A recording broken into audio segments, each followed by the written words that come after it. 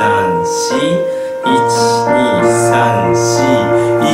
二三。はい。一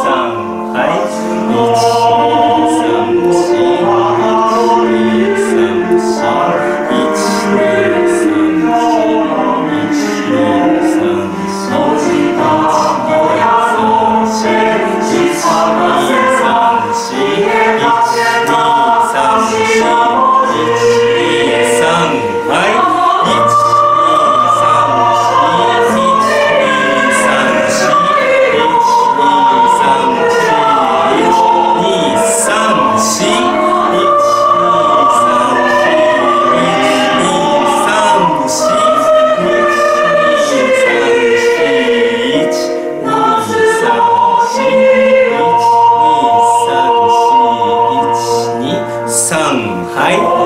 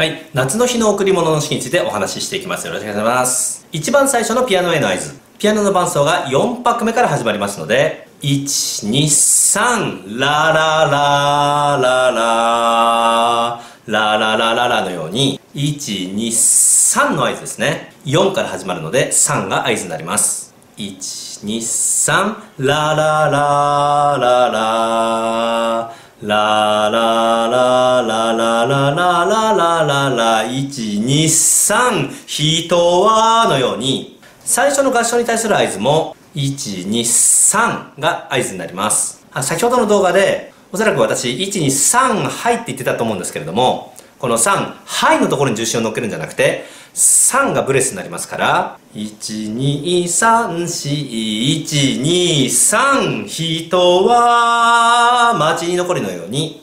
3のところでしっかりブレスが揃うように気をつけて合図を出してみてください。この曲は4拍子なんですけれども一番最初の部分人は街に戻り山は秋の色よ。ここは123422341234223というふうにこ2小節1セットになってる音楽作りなので人は街に戻りのように123412341234というふうに1小節刻みにならないように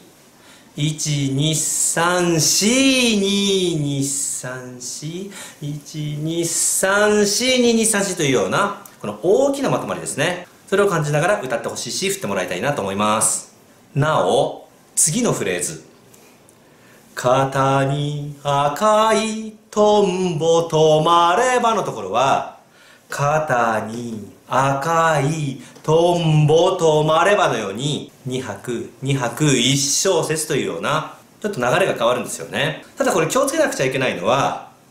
肩に赤いトンボ止まればみたいなこうぶつ切りの音楽になるんじゃなくてこの大きな流れの中で肩に赤いトンボ止まればというようなこの中の小分けした流れまとまりを感じながら歌ってもらうともうこの最初の1行2行でこの曲の世界観がしっかりと出来上がりますからここは何小節セットなのかここは分けるとどんな感じになるのかということをまず指揮者がしっかり分かった上でそれを全員と共有してこのメロディーの流れをしっかりと作ってもらいたいなと思います。夏の言葉たどりのところからは男性がメロディーになるわけですけれども、まあ男性パートというものは普段それほどメロディーを受け持つことが少ないので、ここのところはしっかりと男性の方を向いて、風の中、夏ののように、こうそっちのパートしっかり向いて合図を出してあげた方が、こうメロディーが浮かび上がるような効果が生まれますから、また気合も入りますので、ぜひここ男性パートの方を向いて合図を出してみてください。サビの部分は、女性パートが、山は高くそびえと伸び伸びと歌いますので、ここは可動範囲をしっかりと使って、こう伸び伸びと女性パートが音を響かせられるように、まあ、指揮をするというよりは、一緒に歌うような気持ちで、伸び伸びとモーション作ってもらえたらいいんじゃないかなと思います。で、このサビの部分、ちょっと指揮とは直接の関係はないんですけれども、よく男性パートが、山はそびえとか、山の贈り物とか、こう力任せの歌になりやすいところなので、やはりここも流れを感じながら、山はそびえ、太陽が呼んだ、山の贈り物のように、り物とならないような、こう高いところだけガーンと出るような感じにならないように、この曲のこの全体的なムードを感じながら、そのような細かいところにも気を配って、音楽作りをしてもらえたらなと思います。夏の日よのところは、12341ですね。全音符足す四分音符なんで、1234122の N のところまで音があって、しっかり響きが揃うように合図を出してほしいです。この終わりが揃うと、とっても響きが整って聞こえますので、式の役割というものは、まあ、始めを揃えることと、まあ、終わりを揃えるということがとても大事なことなので、123412と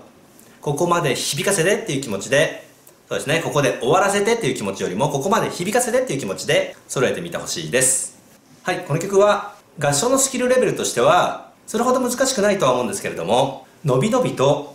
あるいは広々とこの風景を思い浮かべながら歌ってもらうと本当に聴いてる人たちにもこの曲の風景が生き生きとイメージできるような曲ですので歌う方もまた指揮者も風景をイメージしながら歌ってほしいし振ってもらえたらなと思います。はい以上でございます。ありがとうございました。さよなら。また会いましょう。どうも。